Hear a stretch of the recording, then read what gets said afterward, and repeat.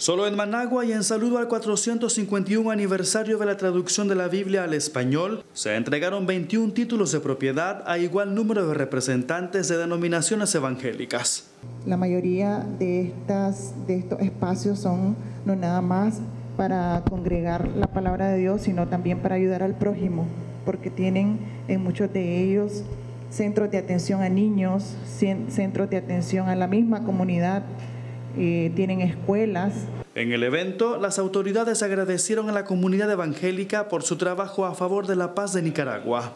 Ha sido de mucha experiencia, de mucho crecimiento espiritual, más en estos momentos tan difíciles de pandemia. La oración es fundamental, el acompañamiento espiritual de estos hermanos ha sido fundamental para la pérdida del temor, del miedo de la familia a enfermarse. Han sido visitados, dicen, y acercándose a la celebración de los 451 aniversario de la traducción de la Biblia a nuestro idioma, el español, pues hay una jornada de celebración. Y nosotros creemos que la Biblia le ha hecho tanto bien a este país que debemos seguirla leyendo y debemos seguir creyendo que Dios nos va a seguir transformando para ser cada vez una sociedad más tranquila, más estable, más sana con la ayuda del Señor. Pablo López, TV Noticias.